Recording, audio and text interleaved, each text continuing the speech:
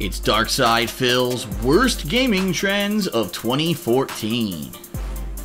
Number 2. AAA, overhyped, over advertised games that seem to have put more effort towards their marketing than actually developing an original product.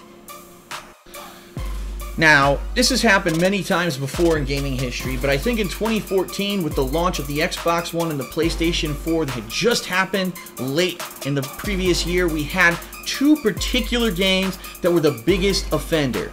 By far, Titanfall on the Xbox One and PC, as well as Destiny on all platforms, ended up being the most overhyped, overpromising, underwhelming and under-delivering games that we've seen probably in the past decade. Titanfall ended up being just a rehash and combination of gameplay from games like Unreal Tournament, Call of Duty, and MechWarrior. There was really nothing original about the game at all, and the game had such limited content upon launch that after playing it after a few days, most people had unlocked everything and said, what the hell am I supposed to be doing with this game? Destiny again, mostly a combination and rehash of games such as Halo and Borderlands, with almost no originality. The enemies literally ripped it and stolen from other games. Only one hub town, not even having as much content as the games I just referenced that they stole from. It's ridiculous that these two games from huge AAA studios came out the way that they did. However, due to an insane amount of marketing, these two games had great sales and overall ended up being financial successes despite the fact that they weren't very good.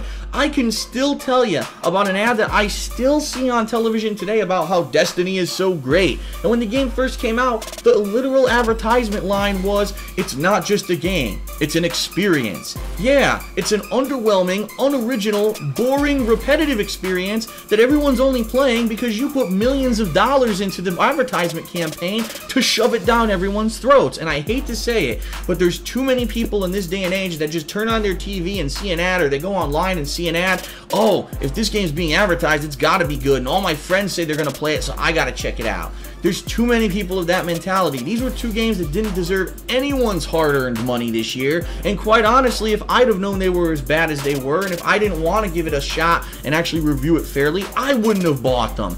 They're terrible. There's not really anything original about either one. There's no reason to play either one. You can completely skip them and not miss out on anything in gaming for the year of 2014. But if you watch the advertisement, you would think that these were the two biggest games of the year. I would find it few and far between of one honest reviewer who actually puts this in their top games of 2014.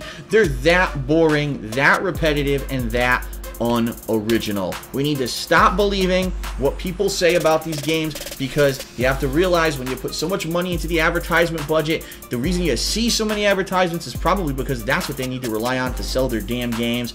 Both Titanfall and Destiny, overhyped, underdelivered, what a bunch of stinkers. Well, oh no. This is it, everyone. Coming up next, it's number one. The biggest piece of stinky shit that happened to gamers in the year of 2014, and we all walked away with egg on our faces, no matter whether we were involved with it or not. Let's take a look.